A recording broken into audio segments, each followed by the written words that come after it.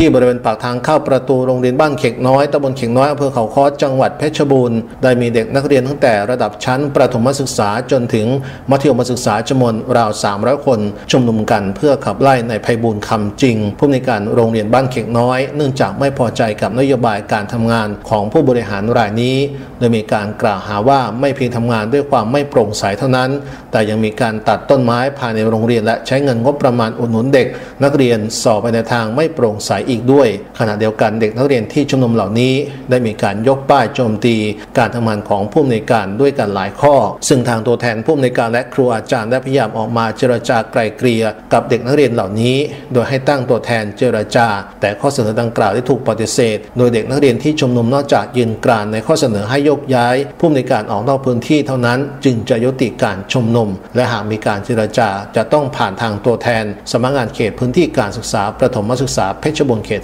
2 เท่านั้น ซึ่งทางผู้ในวยการสำนักงานเขตพื้นที่การศึกษาประถมศึกษาเพชรบูรณ์เขต 2 หลังจากทราบเรื่องได้เร่งรีบดำเนินการแก้ไข โดยเร่งเจรจาหาข้อยุติในเรื่องดังกล่าว นอกจากนี้ระหว่างการชุมนุมปรากฏว่ามีเจ้าที่ทหารตำรวจ และฝ่ายปกครองเดินทางเข้าไปสังเกตการด้วย